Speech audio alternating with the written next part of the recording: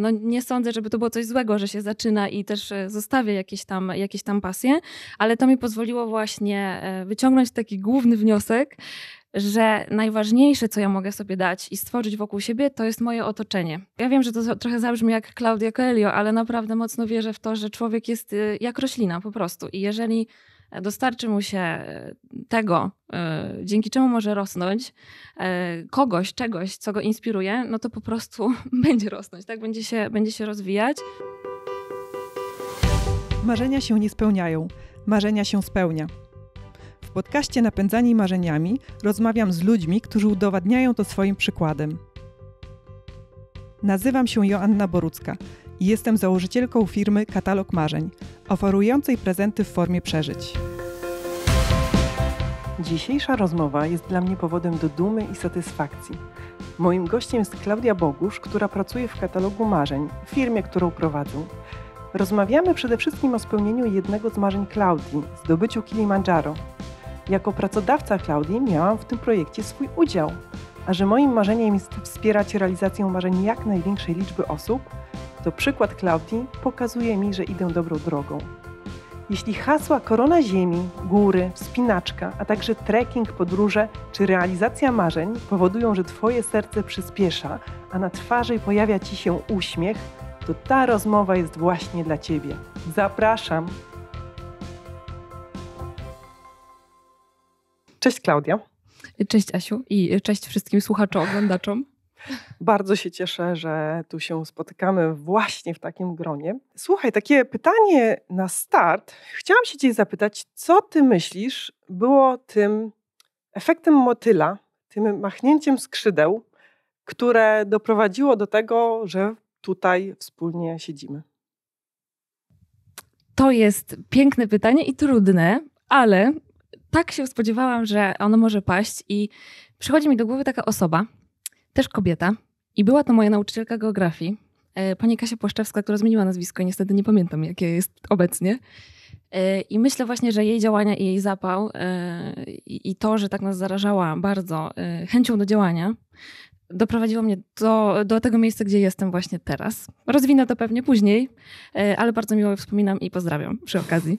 A co to było? Tak konkretnie, to może będzie też podpowiedź dla nauczycieli, co można robić, żeby rozpalać taką miłość do realizacji marzeń w uczniach. Powinnam powiedzieć, że to był sposób prowadzenia lekcji i to, co było w trakcie lekcji, ale tak naprawdę to, co najbardziej wspominam, najmocniej, to były wycieczki. Wycieczki w góry.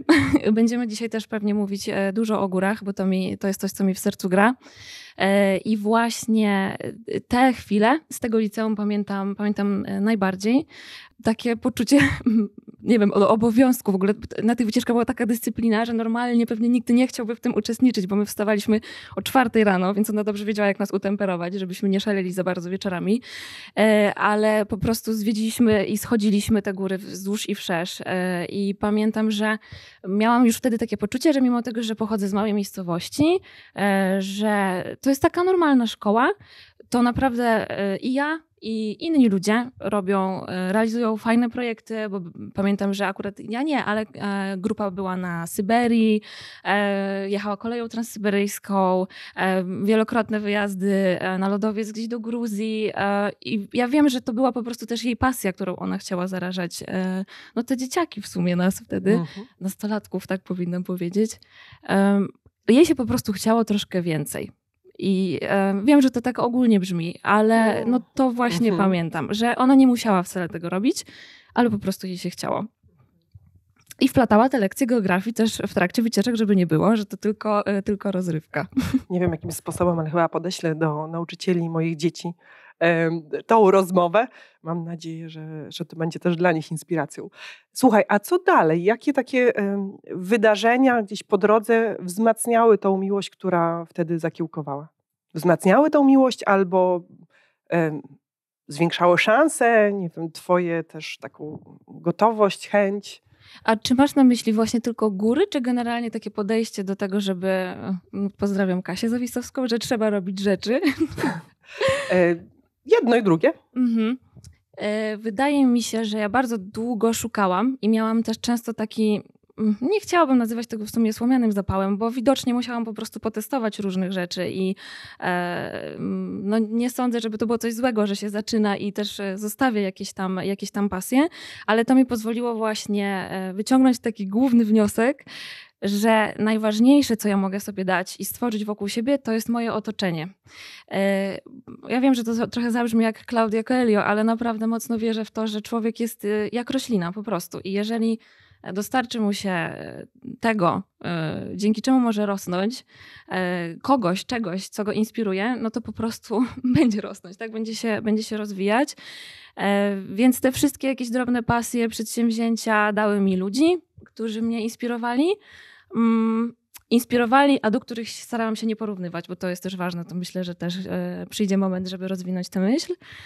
Um, no tak, ja odpowiadam bardzo długo, więc potem się gubię w tych, e, w tych odpowiedziach. E, o ale... takie momenty, mm -hmm. właśnie takie momenty, wydarzenia, spotkania, może jakiś film, książka. Domyślam się, że to mogły być różne rzeczy. Decyzje. To już było troszkę później, bo już byłam na studiach. E, to miałam świetną okazję, żeby pojechać na wymianę międzynarodową. Jeszcze byłam na licencjacie, ale zrezygnowałam z tego, nawet nie, nie próbując. Pamiętam, że z perspektywy czasu byłam na siebie taka strasznie zła, bo nie rozumiałam w ogóle tej swojej decyzji. I dopiero przy kolejnej okazji, jak e, już byłam na tej magisterce e, dwa lata później, to znowu właśnie otoczenie, w którym byłam, bo byłam już tu w katalogu swoją drogą, e, zachęciło mnie do tego, żeby po prostu mm, spróbować, mimo tego, że się bardzo tym stresowałam, że w ogóle muszę pójść do pracy i zapytać, e, jakby, nie wiem, zakomunikować, zapytać, powiedzieć, że chcę zniknąć i co to z tym teraz będzie, że przecież to jest takie ważne, że, że praca, że ludzie na mnie polegają. No a okazało się, że, że po prostu nic złego się nie stało, wręcz przeciwnie, że dostałam taką informację zwrotną, super, działaj, rób, tylko wróć, co było bardzo, bardzo miłe.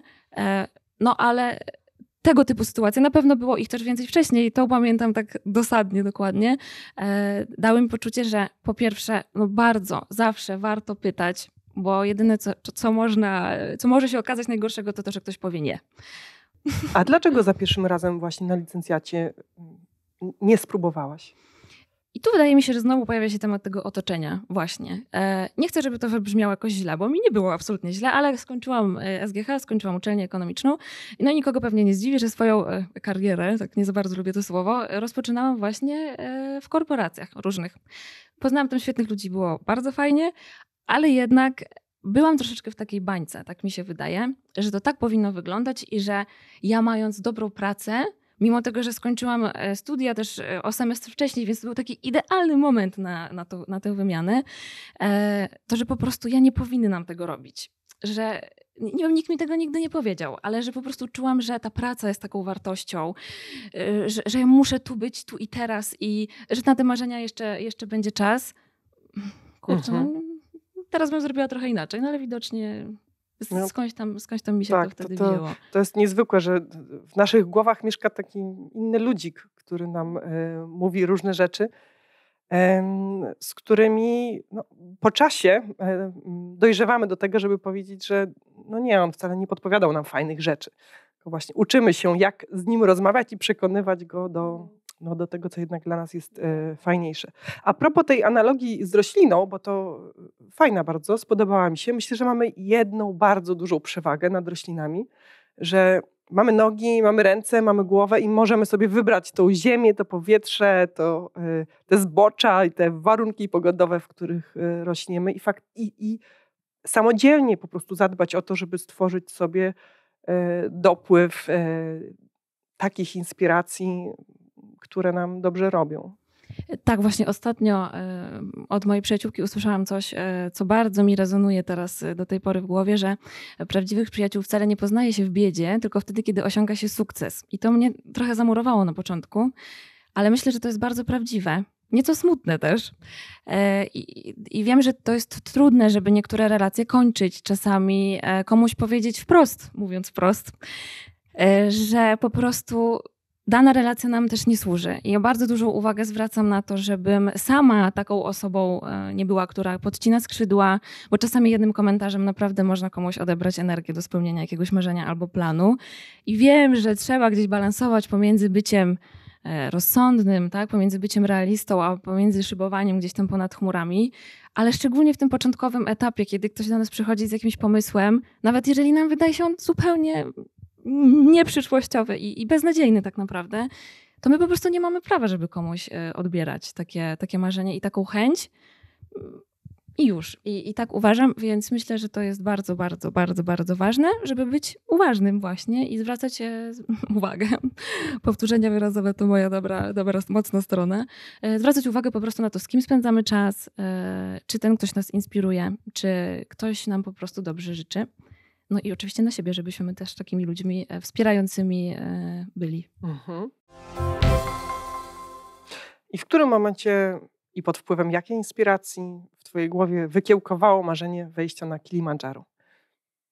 Hmm, to zacznę od tego, mimo tego, że y, rozmawiam ze swoją szefową, to obiecałam i obiecuję, że tu nic nie jest ustawiane I, i, i mówię to, co chcę, ale naprawdę, y, no tak, zaczęłam pracę w katalogu E, ponad 3 lata temu i od tamtej pory poznałam bardzo dużo osób, które, którym się właśnie chce robić rzeczy, które, które robią rzeczy i to są i pracownicy, i przyjaciele katalogu, bardzo, bardzo różne osoby.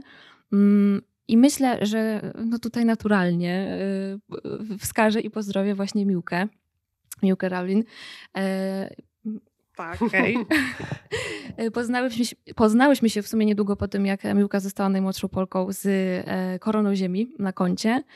I w sumie nie wiem, kiedy był dokładnie ten moment, że ja sobie pomyślałam, że może ja też bym chciała. Bo na początku sama się trochę negowałam i myślałam, że po co mi to, że przecież już ktoś to zrobił, więc to nie jest wcale jakieś takie super wyjątkowe, no bo to już było, już ktoś o tym słyszał. E, ale Dawid, e, który z nami pracuje, e, kiedyś mi powiedział: No ale co ciebie to interesuje, czy ktoś już to zrobił, czy nie? Jakby nie musisz pobijać żadnych rekordów, to jest twój rekord, twoje marzenie. Właśnie. I my się możemy nawet z tego wszyscy śmiać, a jeżeli dla ciebie to jest ważne, no to coś tym po prostu zrób, tak? I zacznij działać. E, no i to Kilimandżaro jest takie w sumie mm, fajne po prostu. No pierwszą górę, jeśli się myśli o górach e, wysokich, e, ponagrywałam się tam Miłce trochę na Instagramie z różnymi pytaniami, odpowiedziała, zachęciła. No i tak sobie jakoś podreptałam na górę. I to był, bo wspomniałaś, nawiązałaś do zdobycia przez Miłkę korony ziemi. Czy w tym Twoim marzeniu też od razu, z taką pewną nieśmiałością pytam, bo w sumie nie zadałam Ci nigdy tego pytania, od razu był taki szerszy plan? Wychodzący poza y, Kili? Szczerze mówiąc, to nie było szerszego planu, ale e, później już po zdobyciu tego szczytu y, Kilimandżaro pomyślałam sobie, że ja jednak potrzebuję jakiegoś konkretnego celu. E, to jest duży cel, ale bardzo fajnie da się go podzielić na takie mniejsze kawałki.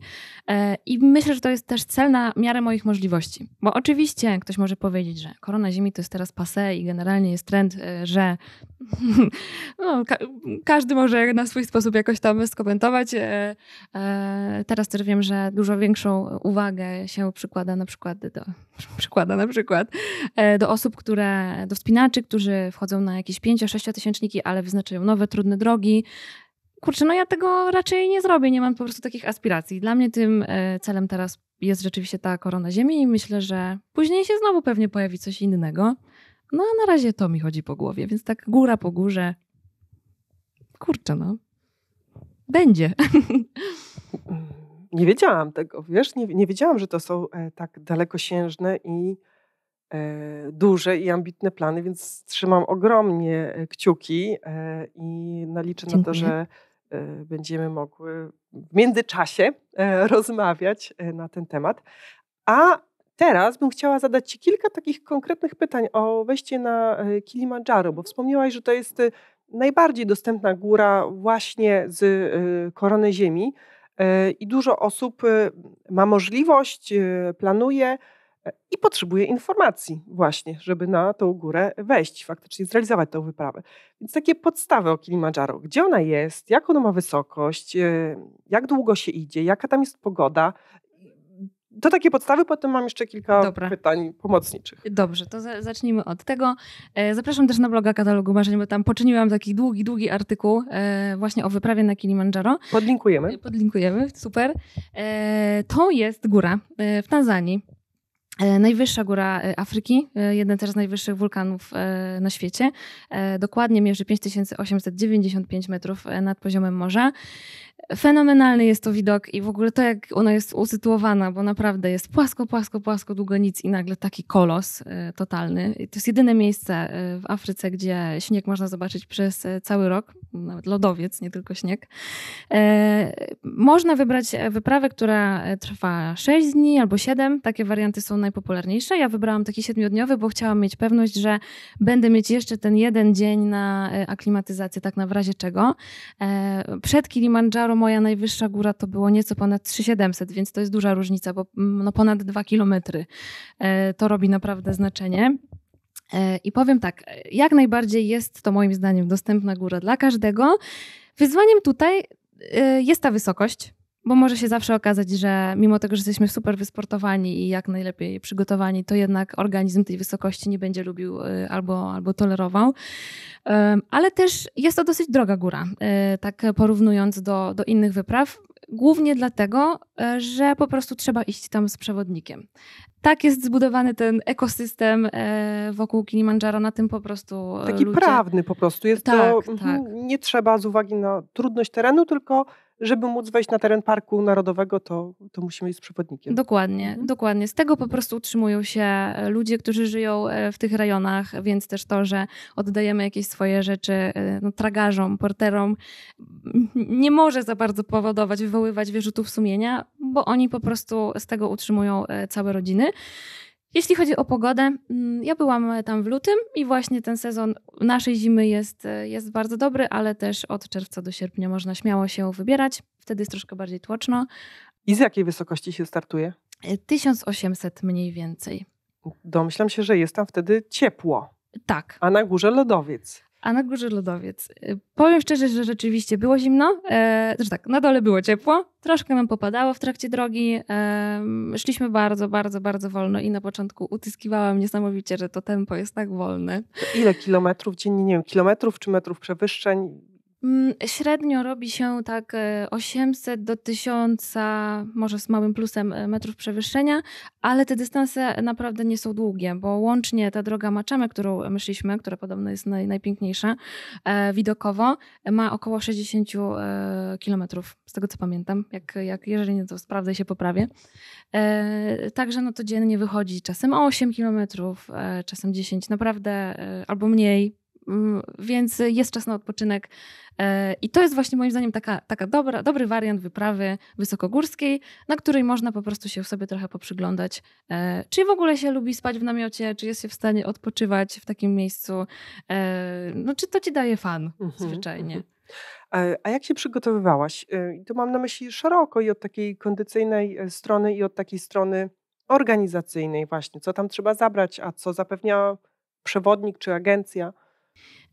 dobra, to zacznę od tej e, fizycznej. To tak, na co dzień rzeczywiście jestem dosyć aktywną osobą, więc e, jest grany rower, czasami się trochę zmusza do biegania, bo wiem, że to dobre, dobre cardio, ale przede wszystkim to pakowałam sobie książek, ile wlezie do plecaka mojego 30-litrowego i po prostu naginałam równo po schodach po klatce schodowej w bloku. Było tylko pięć pięter, więc już mi się kręciło w głowie, później zaczęłam chodzić na siłownię na te schody. E, I myślę, że ciężko jest znaleźć lepsze ćwiczenie, które nas przygotuje właśnie do tego, żeby de facto wchodzić i schodzić e, do, do tego ruchu. Ale no ja tutaj jakichś specjalnych treningów też nie, nie, nie robiłam, nie zgłaszałam się do trenera. Jak ktoś ma ochotę, to pewnie, że, że polecam. E, a jeżeli chodzi o organizację samą, no to tutaj była bardzo pomocna agencja. Ja akurat leciałam z polską agencją. Można się wybrać też z lokalną. Jest tych agencji bardzo dużo. Koszty są w sumie podobne, tak jak porównywałam już e, znaczy jeszcze przed, przed wyjazdem, e, więc cała ta organizacja jest po stronie agencji po prostu. Także mhm. ja się czułam szczerze mówiąc tam dosyć luksusowo na tym Ale musisz mieć, e, musisz mieć własny namiot, śpiwór, no czy to zapewnia agencja? Namioty są po stronie mhm. agencji, jedzenie jest po stronie agencji, mhm. takie podstawowe, mm, ciepłe posiłki, woda na miejscu, a ja musiałam zabrać ze sobą przekąski, bo tam bardzo ciężko jest znaleźć takie batony energetyczne, jakieś kabanosy, czekolady y, czy orzechy.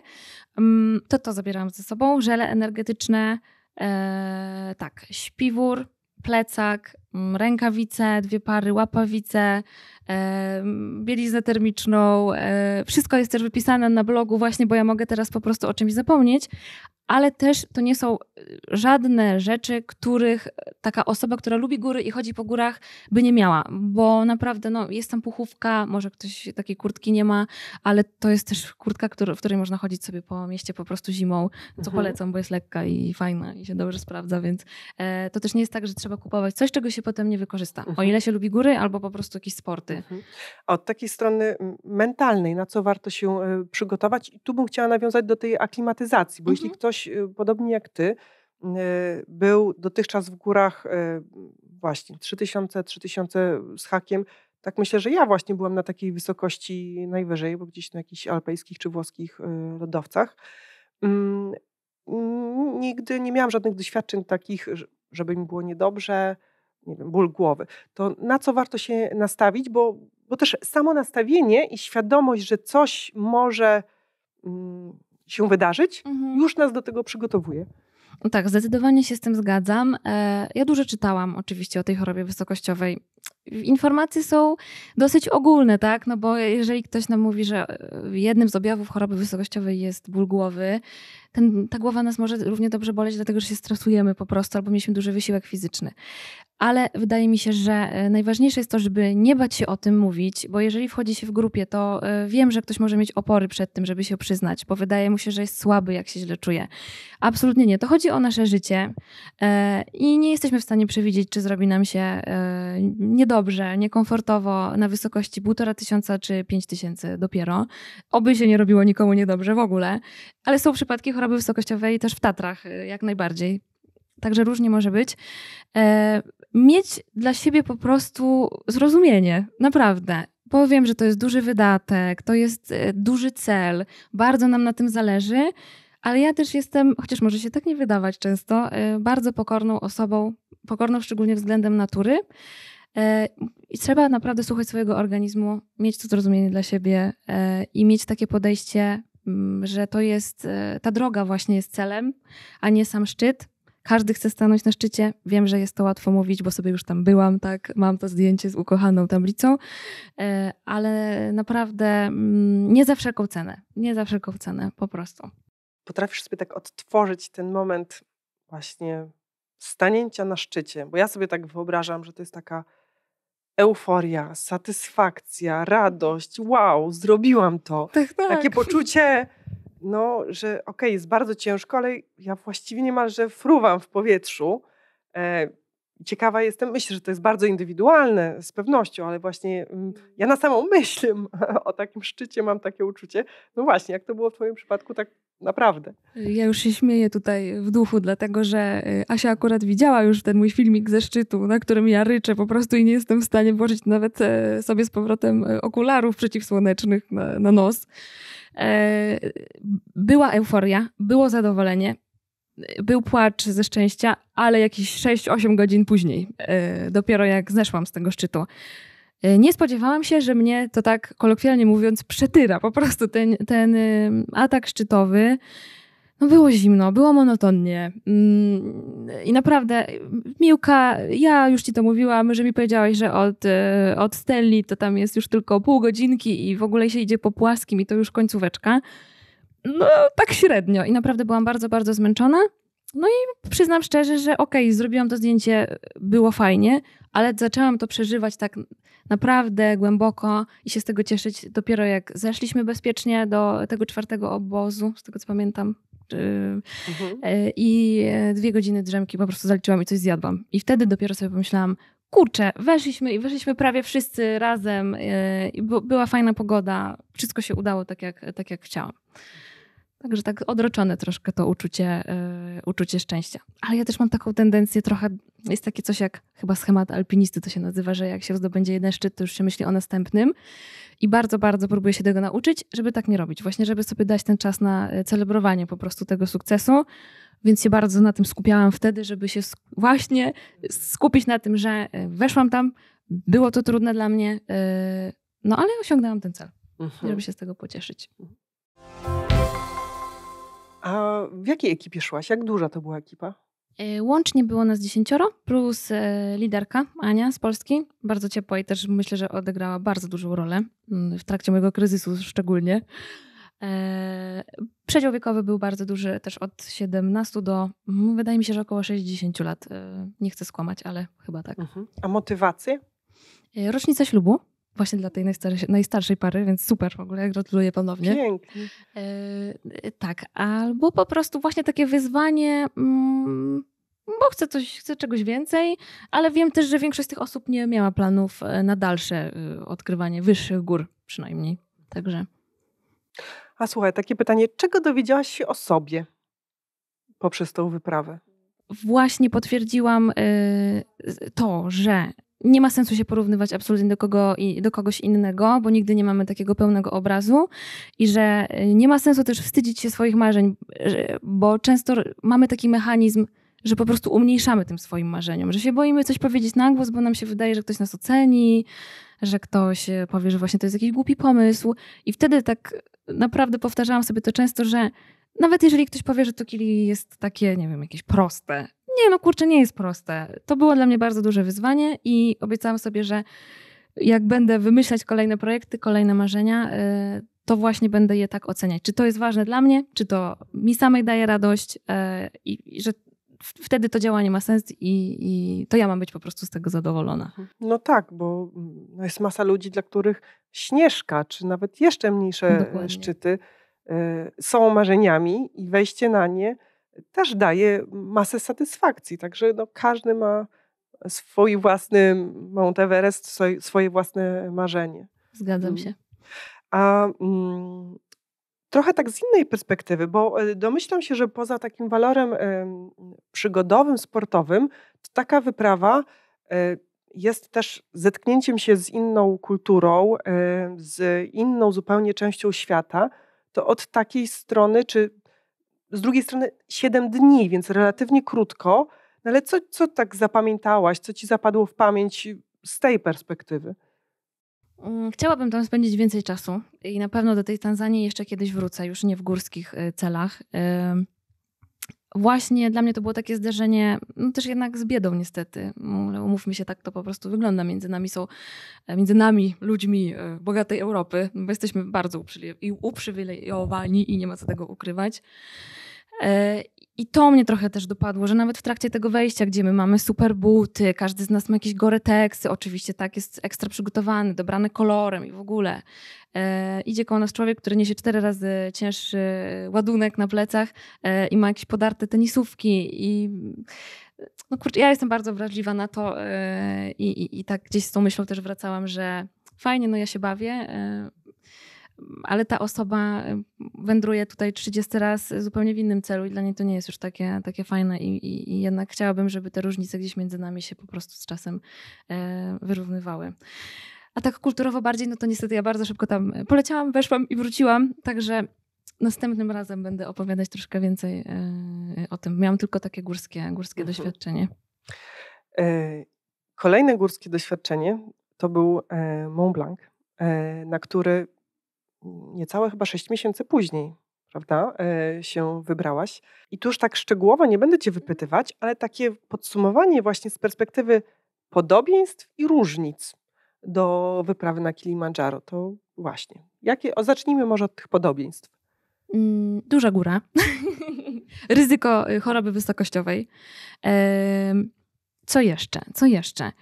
Y, tak naprawdę z tych podobieństw o dziwo to chyba tyle. Bo... Śnieg na szczycie. Tak, tak. Trochę było na tym kili rzeczywiście u mnie, ale wiem też, że miesiąc wcześniej go nie było wcale, także różnie, różnie można trafić.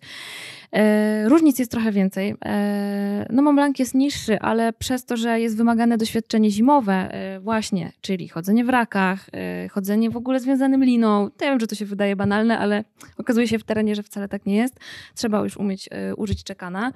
Mm, to, to przez to, mm, mimo tego, że jest kilometr różnicy pomiędzy, e, jakby wysokościach, między, wysokościach tych szczytów, e, no to jednak jest to porównywalny wysiłek. Y, tak bym to określiła. Mm, pierwszy raz w ogóle byłam w Alpach, także y, takie mhm. mocne doświadczenie od razu. I ja się zdecydowałam też na to, żeby wejść z przewodnikiem i byliśmy liną związani, po prostu ja i przewodnik. E, I to była dobra decyzja, tak myślę. Podniosła mocno koszt, ale moje poczucie bezpieczeństwa wtedy było też ważne. Mimo tego, że ja takie doświadczenie zimowe górskie, tatrzańskie mam, no to jednak te szczeliny lodowcowe, kurcze, trzeba się z nimi obyć po prostu trochę i wiedzieć już, e, co się robi, podejmować szybko decyzje. I ten przewodnik właśnie, to, to tak myślę, że to była, to była dobra decyzja. Mhm. Kilometr różnicy w wysokości, a wy w czasie wchodzenia, to e, w Afryce 7 dni, w Europie? Właśnie i też od z którego kraju startowałaś? My wchodziliśmy z Francji, mieliśmy e, plan, żeby wybrać drogę klasyczną przez schronisko Gute, ale niestety w lipcu było tak już gorąco, że kamienie wielkości lodówek po prostu spadały gdzieś tam, przecinały, przecinając ten e, szlak klasyczny. No i podjęliśmy się takiego wyzwania, żeby wybrać drogę 3M. Ona jest troszkę trudniejsza technicznie, Według przewodnika wchodzi się 8 godzin. Mnie chłopaki przytyrali mocno i weszliśmy w 6, także no jest to sukces, wow. ale. Ale no nie tak z samego dołu. Y, no właśnie, to jest tak, że y, w Alpach generalnie, jak się chce gdzieś powspinać, to się najpierw wjeżdża kolejką zazwyczaj. E, więc my startowaliśmy z wysokości 3, e, chyba 600 albo 3800 i trzeba było troszkę zejść, a potem wejść. Generalnie atak szczytowy wygląda tak, że wstaje się e, jakoś tam po północy, chwilkę w schronisku, wychodzi się e, nocą, e, wschód słońca ogląda się po, po drodze e, już niedaleko szczytu, jeśli ma się dobre tempo. Mm, I to jest 1250 dokładnie metrów przewyższenia na tej drodze. Później trzeba jeszcze, wiadomo, wrócić. No ale to jest do zrobienia po prostu w jeden dzień, tak naprawdę. Tylko mhm. trzeba się zaaklimatyzować wcześniej, więc my byliśmy tam tydzień i wyjeżdżaliśmy sobie kolejką gdzieś na, e, do schroniska. E, przewodnik nam pokazał też bardzo fajne granie. Mieliśmy trochę właśnie takiego testowania mm, wysokościowego, ale też technicznego, więc bardzo dużo się nauczyłam na tym wyjeździe już przed samym zdobyciem szczytu, co też pozwoliło przewodnikowi ocenić, czy my w ogóle jesteśmy gotowi na to, żeby e, wejść na ten szczyt. Gotowi, bo nie byłam tam sama, ale o tym to pewnie przy okazji innego odcinka. Mhm.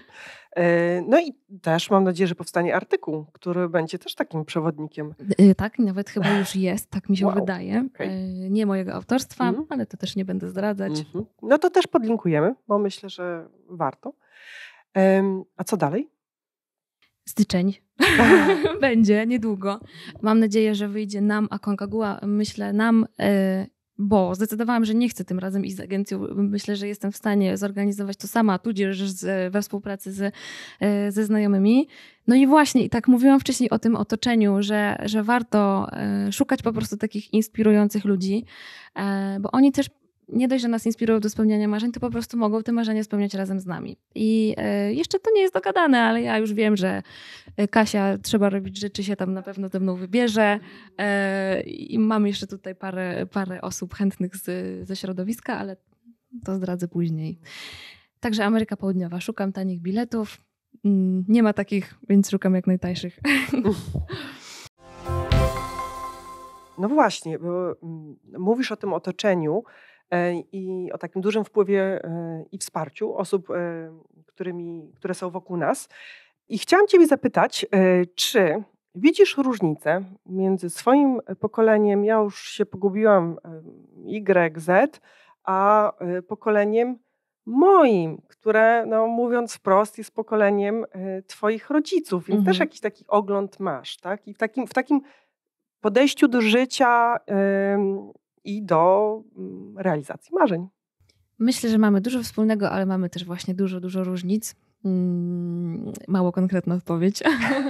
E, na własnym przykładzie mogę powiedzieć, że e, mm, ja jestem w sumie takim pierwszym pokoleniem, jak myślę o swojej rodzinie na przykład, e, które rzeczywiście jest bardziej aktywne też fizycznie po prostu. U mnie jakoś tak tego sportu nie, nie było, nikt się tym za bardzo nie interesował. Myślę, że było więcej ruchu tak na co dzień. Tak. Po prostu mhm. mniej samochodu. Z pewnością. Więcej po prostu pieszych spacerów. Może tego tak mm, przypominam y, sobie siebie, jak mhm. byłam w Twoim y, wieku. Więc... Ja widzę przede wszystkim różnicę w podejściu do pracy. E, zdecydowanie, bo e, dla mnie, już pomijając to, że ja lubię po prostu mieć misję i wtedy mi się łatwiej działa i przyjemniej, e, jestem bardziej kreatywna i czuję po prostu taką wolność działania, ale dla mnie praca jest ważna, ale ona jest takim kanałem do tego, żeby poznać fajnych ludzi, żeby zarobić po prostu na te swoje jakieś dodatkowe marzenia. A e, widzę tutaj taką kontrę, że jednak, no nie chcę tak uogólniać, nie lubię generalizować, ale e, gdzieś może ten kult pracy był taki bardziej e, widoczny, e, to, to no, kurczę, no widzę po prostu, mój tata bardzo lubi pracować. Z jednej strony to jest fajny przykład, bo ja wiem, że warto jest po prostu dawać coś od siebie, bo to do nas wraca, tak? Tyle, że ja to robię też po to, żeby potem mieć czas na odpoczynek. No, tak z nim to muszę jeszcze trochę porozmawiać, żeby, żeby ten relaks y, wdrożył w życie, bo ja po prostu właśnie wierzę w to, że, że my też pracujemy po to, żeby mieć szansę na spełnianie marzeń tak, w tym czasie wolnym. Hmm. Ja tak y, patrząc z perspektywy tych y, już nieważne ilu lat więcej, e, to, to myślę, że mm, mm, po prostu ja to może jeszcze nie aż tak bardzo, ale na pewno pokolenie moich rodziców i po części ja też my musieliśmy trochę więcej wypracować samodzielnie, a teraz no, wszystkim nam się po prostu żyje lepiej, więc y, już na tym momencie startowym y, łatwiej jest myśleć o tej realizacji y, marzeń, a właśnie to moje pokolenie, pokolenie starsze ode mnie, trochę mm, nie nasiąkło takim podejściem, tak bardzo weszło w tą pracę, że teraz trudno się od niej oderwać, więc y, trzeba szukać inspiracji. Nie każdy miał takie szczęście, żeby mieć panią od geografii, której chce się e, więcej. E, myślę, że nie każdy też ma takie szczęście, że ma rodziców czy znajomych, którzy dają dobry przykład. Ale za to e, no na pewno nasi słuchacze mają to szczęście właśnie, że trafili na tą naszą rozmowę i mogą posłuchać teraz od ciebie, mm, skąd tych inspiracji czerpać? Czy y, wiadomo, że z podcastu Napędzanie Marzeniami, no to, to, to wiadomo, pozwolę sobie Raczej. trochę na taką autopromocję, e, ale poza tym podcastem, nie wiem, czy konkretne osoby, książka, film, wydarzenia, cokolwiek, co podpowiesz? Ciężko jest dać taką podpowiedź uniwersalną dla wszystkich, ale wydaje mi się, że słuchajcie, rozglądać się i naprawdę obudzić w sobie taką ciekawość, żebyśmy nie czytali tylko o tym, co już znamy i nie oglądali tego, co, co już znamy i tak nie kręcili się trochę w kółko, tylko naprawdę czasami nawet nie wiemy, co my możemy, co my możemy zrobić. Chodzić na festiwale podróżnicze. E, jeżeli ktoś nie lubi gór, nie rozumiem, ale może się tak zdarzyć. Może ktoś się interesuje motoryzacją. Są naprawdę, jest tyle eventów, właśnie tyle takich różnych książek i tyle postaci, które, e, które można sobie przyjąć gdzieś za inspirację. Tylko trzeba mieć troszkę w sobie właśnie takiej ciekawości, zapału, żeby, mm, żeby szukać. Dla mnie to nawet e, mam takich swoich influencerów, których, których lubię, podziwiam i po prostu kibicuję im, żeby, żeby te społeczności im się rozwijały i sama jestem e, częścią tych społeczności. I na przykład, nie wiem, Dodo Kniter to jest dla mnie super.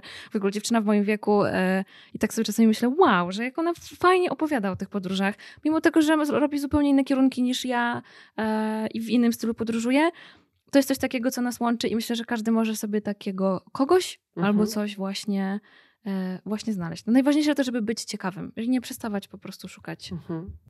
E, to bardzo ciekawe, co powiedziałaś, bo teraz sobie zdałam sprawę, że część gości e, podcastu właśnie bierze się z takiej mojej ciekawości i uważności, bo czasem albo w jakiejś gazecie e, coś wyczytam, mm. albo gdzieś no, w mediach społecznościowych wyświetli mi się jakaś rozmowa czy czasem nawet reklama, e, albo e, w radio. Dwoje gości wysłuchałam e, w radio i tak mi te rozmowy się spodobały, że postanowiłam ich zaprosić.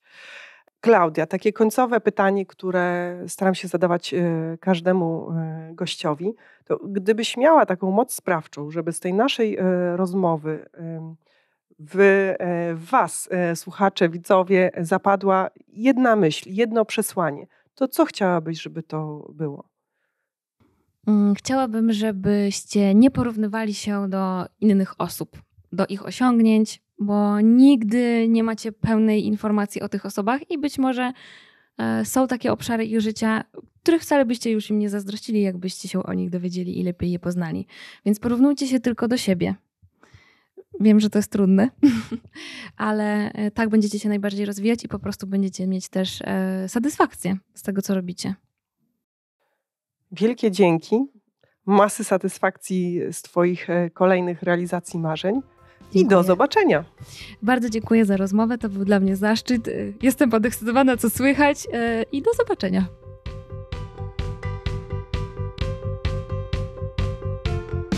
Pełni się zgadzam z tym, co mówi Klaudia.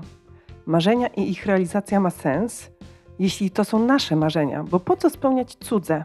W końcu życie mamy tylko jedno. Dlatego zamiast porównywać się z innymi, warto patrzeć na drogę, którą idziemy i doceniać wysiłek w nią wkładany. Bo tak jak mówi wiele moich gości, to droga, ta nasza własna droga jest najważniejsza. Jeśli my będziemy się dobrze na niej czuć, to skorzystają z tego także inni. Nie bójmy się więc egoizmu. W zdrowej ilości jest po prostu zdrowy. I dla nas, i dla innych. Do zobaczenia wkrótce w kolejnym odcinku.